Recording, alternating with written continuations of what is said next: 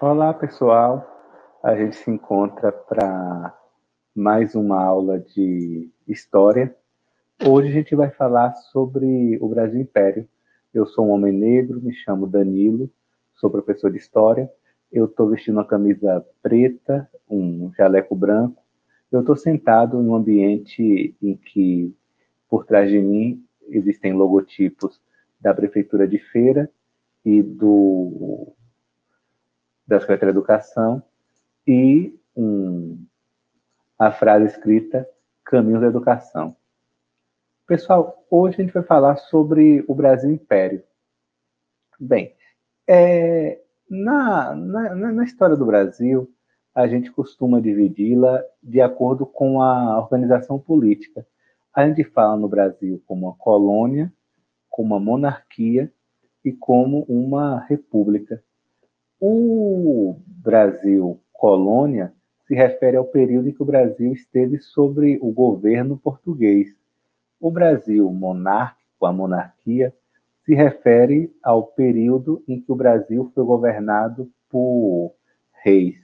E a república é essa fase atual em que o Brasil é governado por presidentes eleitos pelo povo. Bem, monarquia é que é o regime que vigorou durante o Império, é aquele regime político em que um governante, um único governante, passa o poder aos seus herdeiros. Quando um rei morre, ele passa o poder para o seu filho. E isso é um, uma, um, algo bem característico das monarquias. A monarquia brasileira, ela adota o nome de império pela vastidão do território que se tinha aqui.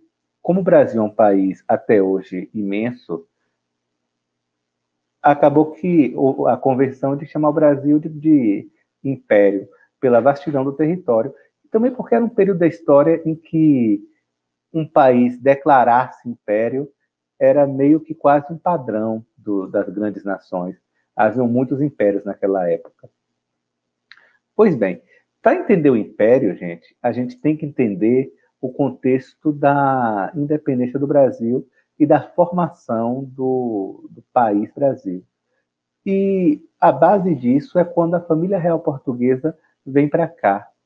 É, conflitos na Europa estavam opondo a família, o Reino de Portugal a outras potências que haviam na Europa, potências mais fortes, notadamente a França e a Inglaterra, Portugal não sabia como se posicionar em relação a esse conflito entre França e Inglaterra. E a opção do rei português é fugir para o Brasil com o apoio da Inglaterra e aqui ficar. Bem, já que o Brasil também era uma posse do, do reino português. Aí o que, que acontece? Como o rei de Portugal estava aqui, o Rio de Janeiro ele passa a ser a capital do, do reino português, né? Afinal, onde o rei está, geralmente é a capital. E aí o Brasil deixa de ser uma colônia portuguesa e ele passa a ser um rei unido com Portugal. Ele muda de status, ele passa a ser semelhante a Portugal. Bem, aí acontece que quando a coisa em Portugal se pacifica e o rei volta para lá, os brasileiros que já estavam acostumados com o processo de independência de, em relação a Portugal, de ser, uma, de ser um Estado igual a Portugal, eles não admitem mais que o Brasil volte a ser uma colônia. E esse é um dos fatores que leva o Brasil a se separar de Portugal. Também todo o contexto da época, que outras nações vizinhas também já passaram processos semelhantes, principalmente os Estados Unidos. Aí o Brasil se torna uma nação independente.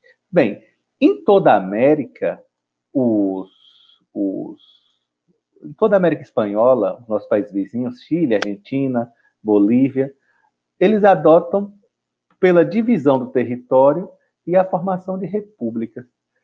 A elite aqui no Brasil não desejava isso, desejava manter a unidade e precisava de um símbolo para representar a unidade desse país.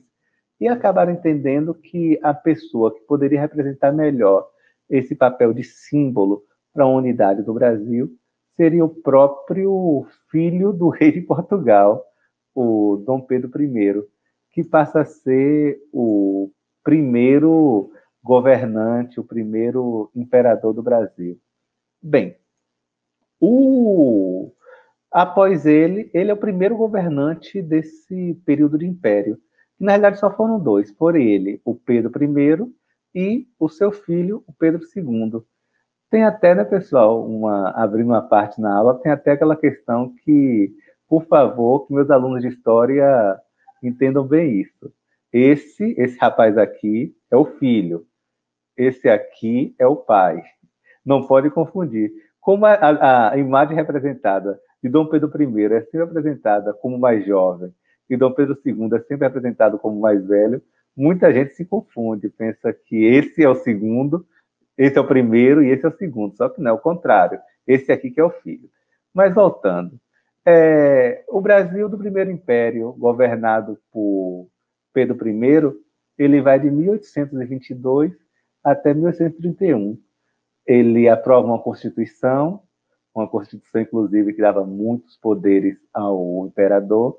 Ele trava uma guerra, uma, a Guerra da Cisplatina, que basicamente, quando o Uruguai, essa nação que hoje existe, o Uruguai, de vez em quando até ganha da gente no futebol, é, ele pertencia ao território do Brasil, mas pede independência. Ele consegue independência nessa Guerra da Cisplatina e o Dom Pedro, no final do seu governo, ele sofre muito desgaste, o que o leva a abdicar. E após a abdicação de Dom Pedro, vem um período chamado de regências, que basicamente aconteceu o quê? Dom Pedro I renuncia, e o filho dele, Dom Pedro II, não tinha idade para assumir o trono. Então, vem uma fase de regências entre um governo e outro, em que grupos acabavam, é, através de eleição, assumindo o governo do Brasil. Só que numa monarquia, você não ter a figura do imperador, isso gera, gera um grande vazio de poder, uma sensação de falta de liderança, o que acaba ensejando uma série de conflitos regionais nas províncias do Brasil. E a solução que se encontra é antecipar a maioridade de Dom Pedro e coroá-lo imperador antes do prazo. E aí começa o segundo império do Brasil. O segundo império, que é marcado pela guerra que o Brasil trava com o Paraguai, é marcado também por um regime parlamentarista às avessas, porque parlamentarismo é um tipo de governo em que os deputados, o parlamento, assumem o poder. Aqui no Brasil, o parlamentarismo era só de nome, porque no final havia um poder moderador que o imperador exercia, que permitia a ele ter um poder quase absoluto. A economia era baseada na, no café e a escravidão é uma marca que tanto o primeiro como o segundo império sempre teve presente. Inclusive, vai ser o tema da nossa próxima aula. Bem, é, essa é imagem bem marcante que ficou uma charge do, do reinado de Dom Pedro, já no finalzinho, quando ele era acusado de estar muito idoso e não conseguir mais governar. Essa charge dizia: silêncio, o imperador ele está governando, porque já havia um grande desgaste da, da imagem de Dom Pedro, um grande questionamento se o Brasil estaria em boas mãos. Havia o questionamento também acerca da sucessão.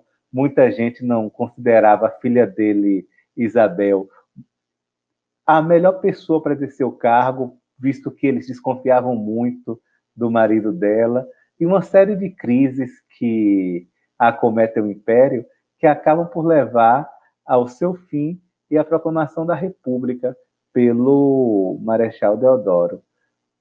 Pessoal, é, então é isso que eu preparei para vocês hoje. Eu, é, eu, espero que vocês guardem na memória que no processo histórico o Brasil, durante todo o século XIX, foi governado, quase todo o século XIX, foi governado por uma forma de organização da política chamada Império, que durante esse período o Brasil era governado por reis, o primeiro foi Dom Pedro II, primeiro, o segundo foi Dom Pedro II, e que essa é a fase que antecede a República.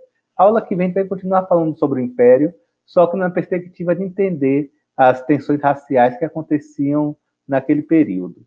É, eu desejo que vocês fiquem bem, desejo que vocês tenham saúde, desejo que vocês continuem estudando história e desejo encontrá-los aqui semana que vem. Um abraço.